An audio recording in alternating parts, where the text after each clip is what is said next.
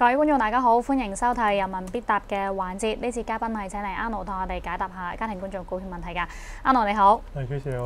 Anno 我哋先聽聽家庭觀眾嘅電話啦。電話旁邊呢，我哋接通咗有林先生嘅。林生你好啊，Hello 林先生。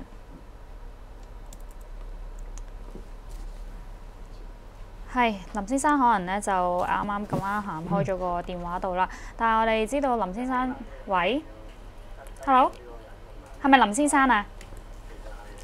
誒，邱小姐，係係啊，係邱小姐你好早晨啊早晨係想問邊只股份係啊？誒，我想請問三隻股票都未有貨嘅。嗯冇問題首先想問誒中移動九四一，咁嗯我之前誒之前嗰排咧就九啊蚊入咗啦嘛，嗯咁後尾高位就沽咗啦。咁嗯而而家有冇機會落到接近九啊蚊咧？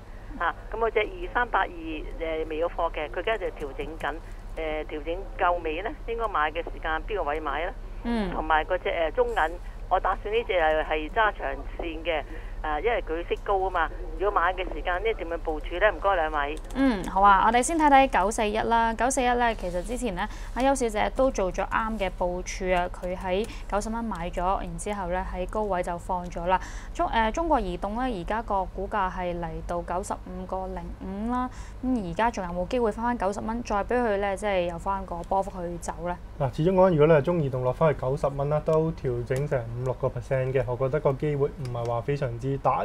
咁我諗你睇翻到啦，但係呢啲位置可以等佢調一調，做個調整先嘅。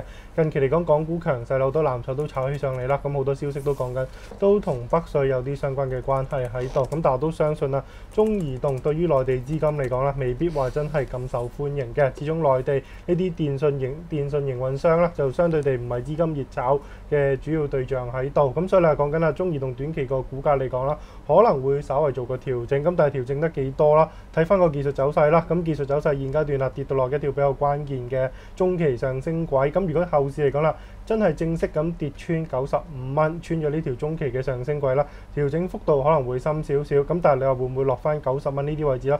我覺得相對地比較困難。咁如果你係想買翻啦，我會建議喺九十二蚊呢啲位置就去買翻嘅。喺九十二蚊呢啲位置買就以翻八十六蚊作為一個中線嘅止蝕位。至於中移動中線嘅目標啦，我覺得有條件望翻一百蚊樓上㗎。嗯，好啊，明白。另一隻股份就二三八二咯，順宇光學啊。嗱、見到順宇光學之前呢個升勢太凌厲啦，可以可能呢就因為咁近排咧都有翻少少嘅回吐壓力啦。而且今日稍後嘅時間咧，誒、美國嗰邊都會公布咧新 iPhone 㗎。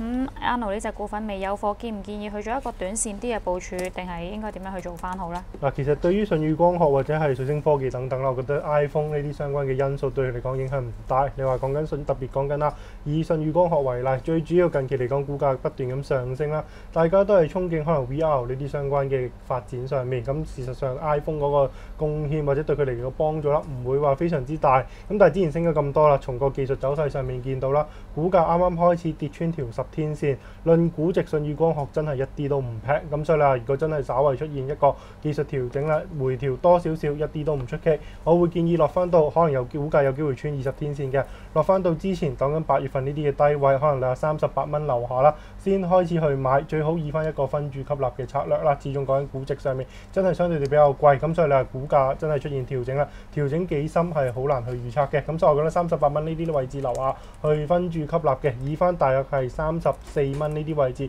作為一個中線嘅止蝕位，唔穿三十四蚊啦。中線目標啦，可以睇到四十五蚊左右呢啲水平㗎。嗯，好啊，邱小姐係咪仲有第三隻股份？係啊啊中銀香港。係中銀香港係我記得啦，佢就話咧個息比較高啲啊，都見到其實中銀香港咧公布咗佢個業績之後咧，股價係不斷向好啦。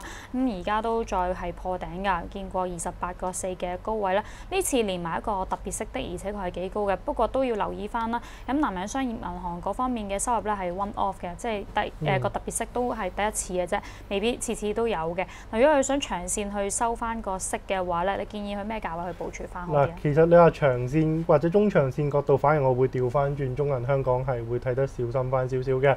短線角度上面，因為南商呢個相關嘅一次性因素啦，派出特別息，咁都令到股價價係受到追捧，因為講緊本身呢啲嘅香港嘅銀行股啦，個息率本身已經係吸引，再加埋特別息都短線嚟講受到資金嘅追捧。咁你話從個短線角度上面睇翻啦，中銀香港有機會試翻三十蚊呢啲位置都唔出奇嘅。咁但係你話講緊啦，反而你話中長線角度上面睇翻啦，我反而係會睇得比較審慎嘅，因為最主要原因就係講緊啦，其實你話睇翻今次嘅中期業績，除咗特別息呢啲一次性相關嘅因素之外啦，其實中期個核心盈利上面啦表現係相對地比較疲弱㗎。現階段本港個經濟入唔係話太過理想啦，內地嘅業務反而講緊啦，拖累到中銀香港可能做得相對地冇咁理想。咁所以嚟講緊啦，其實你話現階段嚟講啦，香港嘅銀行係欠缺一啲盈利增長動力喺度。咁嚟緊未來啦，美國亦有機會加息等等咧，加息會唔會對佢嚟講構成一個負面嘅因素啦？呢個仍然有待觀察。咁所以啦從個中長線角度啦，我反而睇得比較審慎，我覺得個風險因素相對地會比較多。咁但係始終啦，如果從個短線角度上面睇翻嘅，咁我正如之前所講啦，股價現階段個上升勢頭非常之強勁，不斷創緊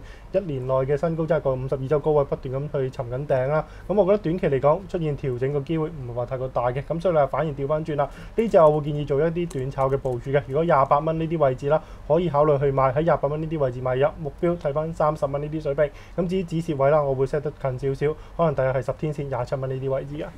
好啊，明白。咁多謝晒邱小姐嘅查詢啦。呢、這個時間我哋聽聽另一位家庭觀眾嘅電話啦。電話旁邊咧接通咗係有李小姐㗎。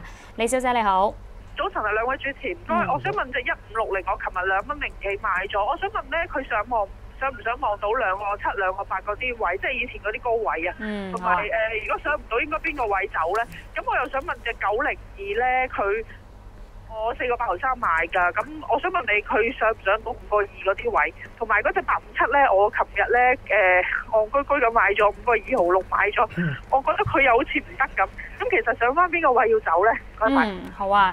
問題都比較多嘅，我哋逐隻嚟啦。先睇睇就係一五六零星星地產啦。嗱，見到星星地產個圖勢誒嘅走勢咧，非常之唔好啊，即係拋物線咁樣向下跌㗎啦。